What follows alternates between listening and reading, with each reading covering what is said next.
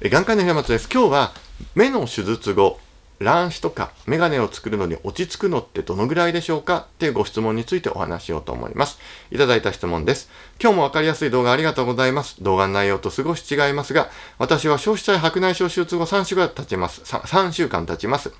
手術前に主治医からメガネは合わなくなるでしょうと言われてましたが、白内障の手術もしたので術後、ぼやけて見えるのはなくなりましたが、もともと乱視もあったので、まあ少しメガネも合わない気もします。手術後目の見え方はどのぐらいで落ち着くもんでしょうか？そして眼鏡を作り直すタイミングはいつ頃でしょうか？というご質問です。まず、結論から言うと、えっと、手術のやり方や状況によるので、かなり個人差があります。なので、まあ、主治医の判断を仰ぐんですが、一般論、あくまで一般論として、白内障手術単体であれば、まあ、1ヶ月程度っていうのが一つの指標になります。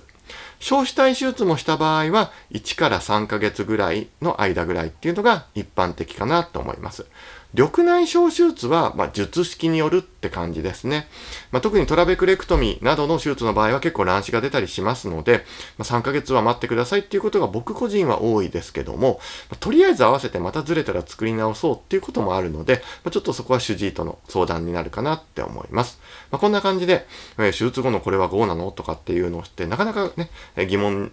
うん、投げかけるとこないと思いますんで、えー、ここに書いてくださればと思います。で、私ね、日々それについてアップしていきますけど、まあ、すぐにアップできないこともあるので、まあ、今日の関係ないよ、今日の関係ないよって思って見逃しちゃうこともあるので、概要欄にメールマガジンっていうのがあります。そちらに登録していただけると、今日はこの動画ですっていうのが出てきますんで、あ、これ私の動画だとかって思った時、見ていただければと思いますんで、ぜひ概要欄にあるメールマガジン登録していただければと思います。よろしくお願いします。